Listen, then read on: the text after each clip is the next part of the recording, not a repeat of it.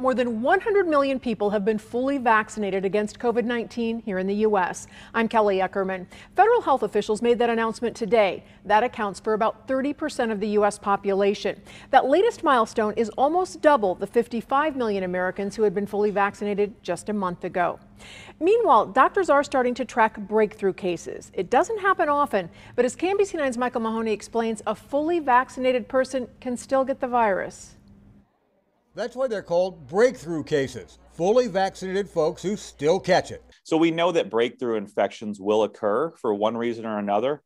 Uh, I uh, don't know exactly why. You know, it comes down to that individual. Doctors say it happens all the time with people who get a flu shot but still catch the flu.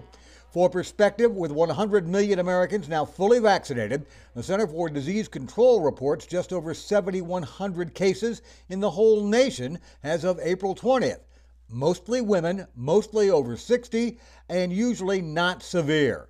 But a researcher at the University of Missouri and others are not sure that 7,100 number is accurate. There is probably some underreporting of breakthrough infection. Hawkins says KU's health system is treating one breakthrough case.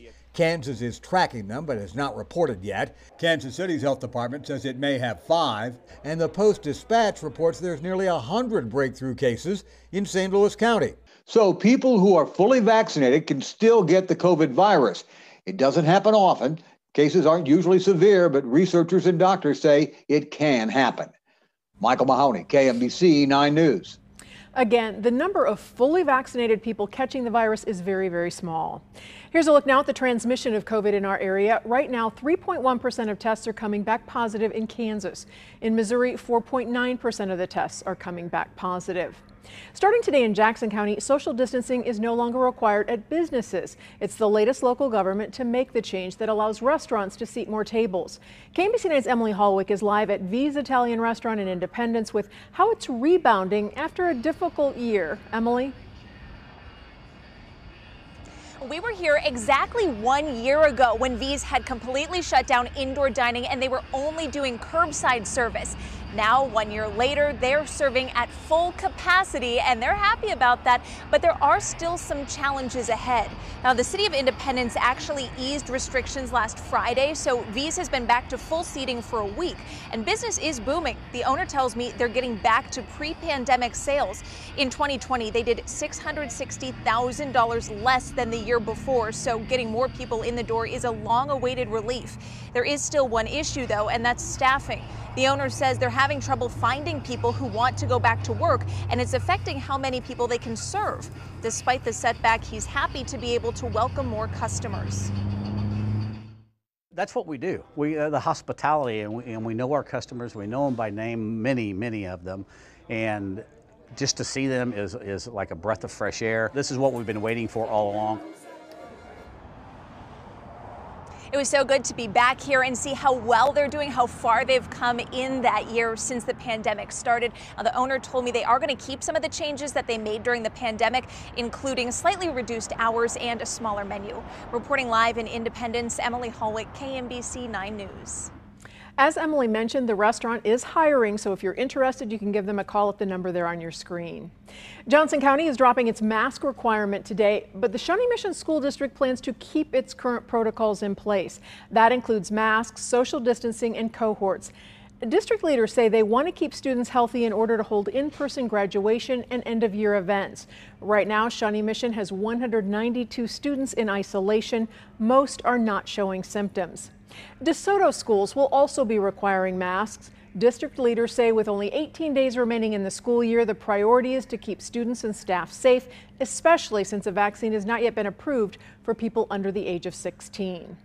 Platte County, Missouri is easing its mask mandate. There are still some rules to follow, though. Masks still have to be worn inside and when you can't keep six feet of distance. Masks are also still required in schools. As we're seeing mask mandates go away and venues reopening, what about all that extra sanitizing? Is that still necessary? The CDC has relaxed some guidelines, but one local health expert say we still need to keep cleaning. We all remember that big run on disinfectant products at the start of the pandemic. Then came all the recommendations about cleaning and sanitizing and wearing gloves, anything we could do to slow the spread of the virus.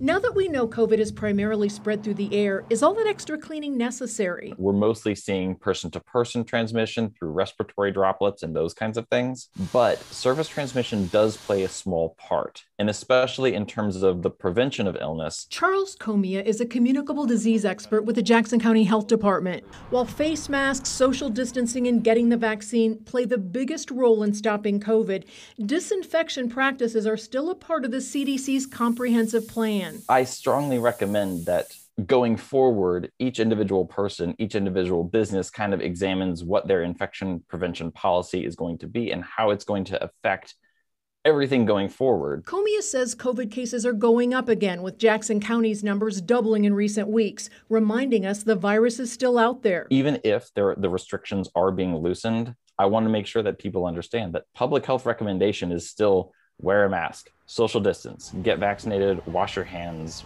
all the all the good stuff. For the first time in months, the University of Kansas Health System is having to make more room for COVID patients. It's now opened a second unit to treat them.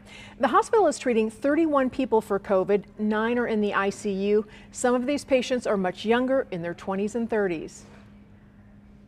What we've seen is a almost immediate increase in hospitalizations mm-hmm. after an increase in new cases. And I think that just reinforces we're not testing enough, right? A lot of these that we're seeing here are getting tested when they're really ill rather than having a really good picture of, mm-hmm. of maybe more mild disease or asymptomatic disease. Health experts stress the need for more testing and vaccinations to curb the spread of the coronavirus. Now, people who had one but not both doses of the Pfizer vaccine may not be fully protected against new variants. That's according to a new study from Imperial College this week. It found the immune response was even weaker in people who had not been previously infected. Researchers say this shows the importance of getting that second dose. President Biden has not ruled out a vaccine requirement for U.S. troops. He says it's a tough call because servicemen and women live in close proximity. Back in February, a third of military members said they refused to get vaccinated. The Pentagon is now weighing a mandatory vaccination order. The director of the CDC says reopening the country by July 1st is a reasonable target. Dr. Rochelle Walensky says it's on the condition that vaccine rates continue to rise and cases keep coming down. She also says, quote, the virus has tricked us before, so it may be premature to say when the country will be or where it will be in a couple of months.